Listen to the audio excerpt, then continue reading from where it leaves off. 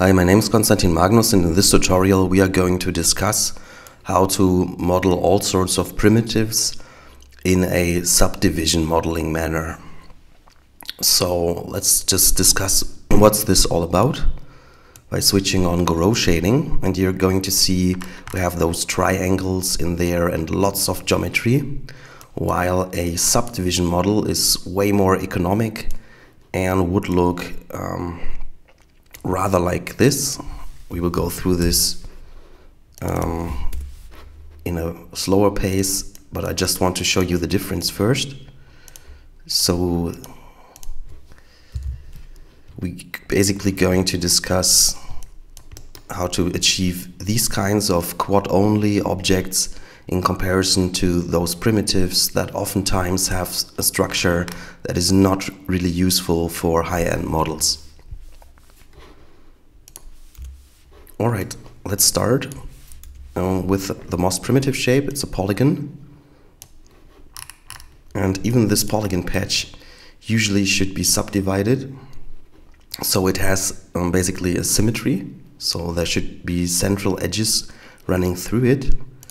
And after converting, you would select the outer loop, which is not possible right away, but you could say select boundary loop and then you can bevel. The beveling has a nice option called solid and I set it to 5 centimeters offset and what you get there is a nice loop running all the way through to the edge. So we are looking for a structure or a topology rather that is running all the way through at all times having uh, quads only. So this looks like this, hold down Alt and click on subdivision surface and you get a structure like this. And our main goal is mostly to have regular quads. And of course they get a bit denser uh, closer to the border. Alright, you can hold down Alt and click twice here to just get rid of it. And next we're going to look at the cube. So a cube can easily turn into a box when you click on the whole model mode. And when you say move, then you get this little orange points you can use to just change the shape. And again, I would um, bring in some segments,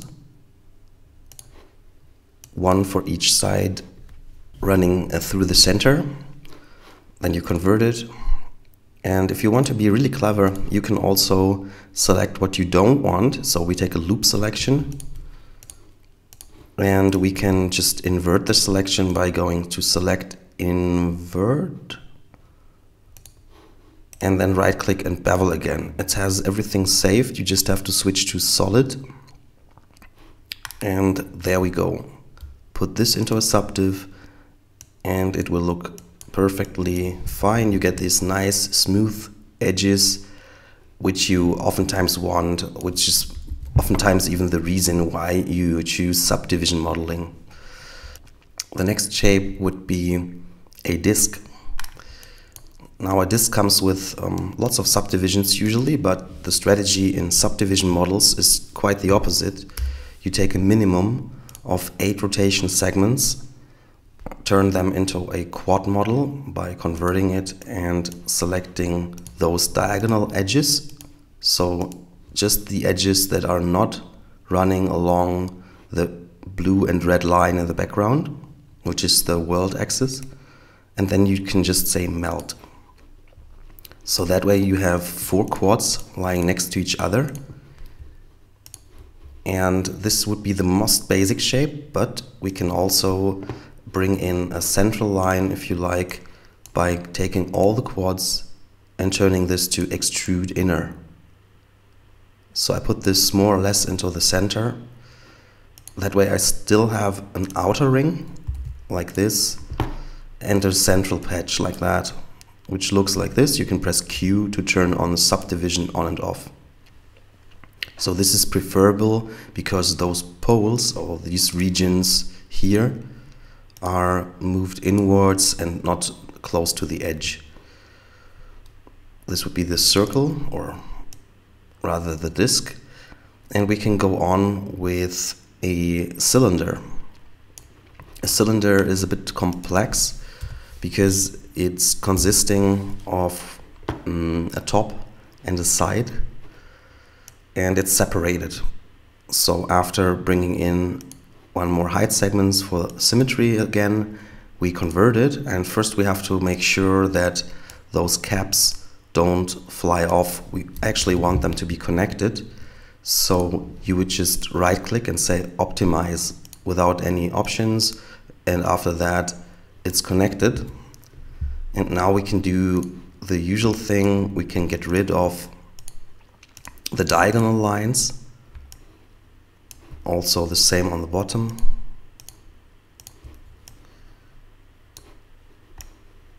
Exactly like this so they shouldn't be in line with your world axis.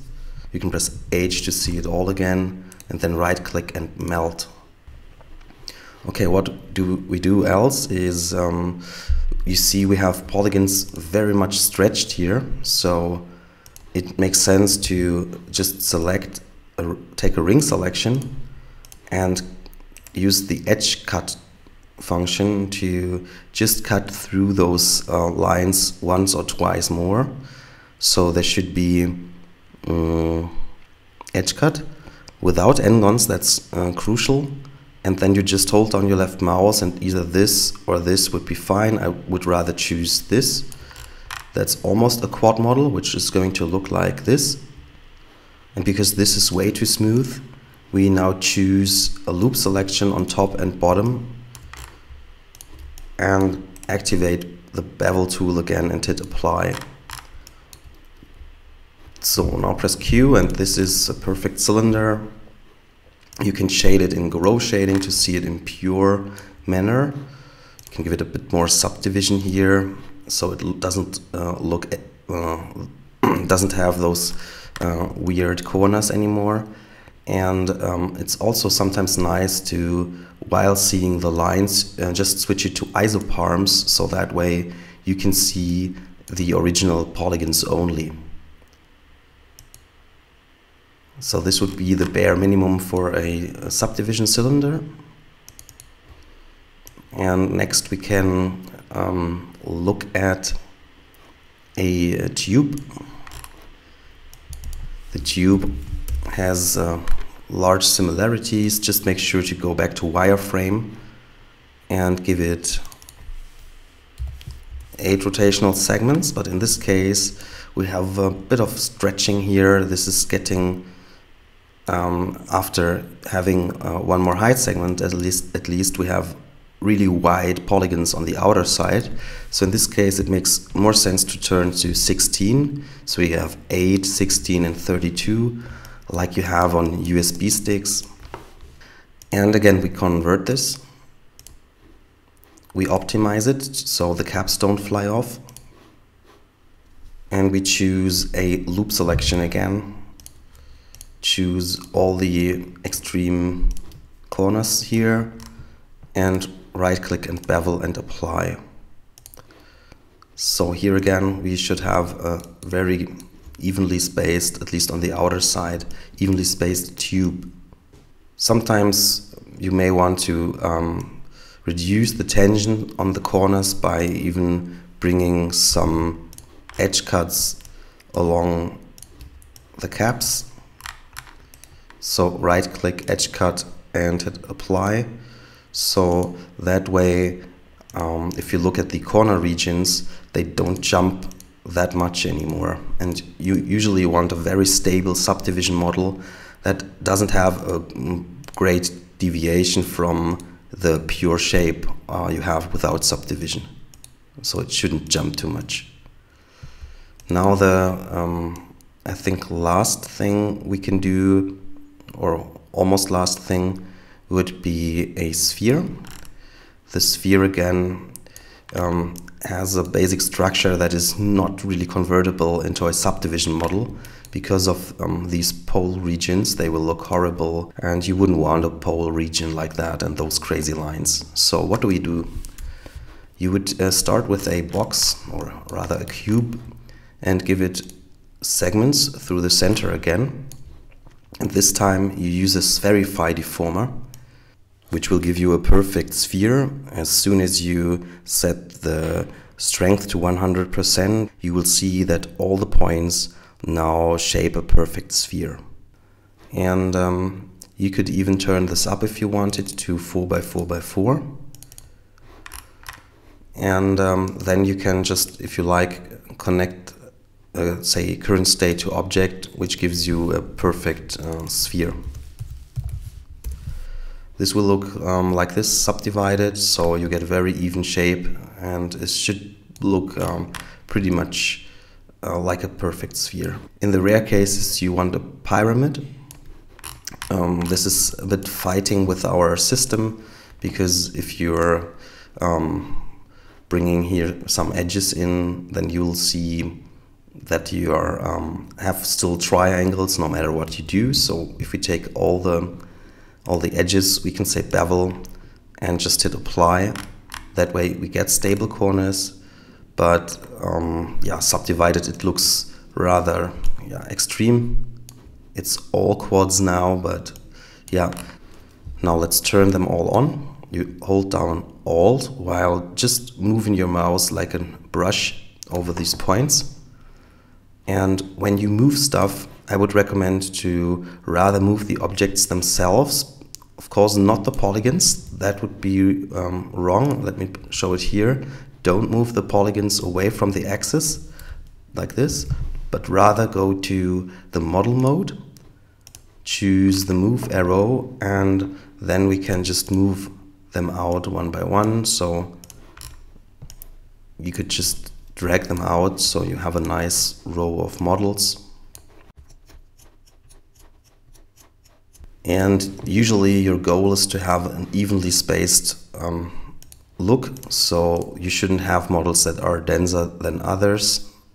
So just for showing you that it's possible to do this, you would just, yeah, basically set those um, set those subdivisions and that way you can kind of see whether you did a good job and have a reg regular evenly spaced topology or not and you can also discuss whether for example the box should have more subdivisions that's a thing you e easily identify again using ring selection and edge cut once and all of a sudden you have a topology that's way closer to quads, which should always be the case. Oh, and by the way, if you want to tidy up your object manager and you don't want to have dozens of subdivision surface generators there, just drag all the blue models out, like so. Delete all of them but one. Create a null object for your models, put it underneath the subdivision surface and put all the models in. That way they get subdivided. If you forget about the null object, then this is not going to work. It's only going to divide the first object in the list.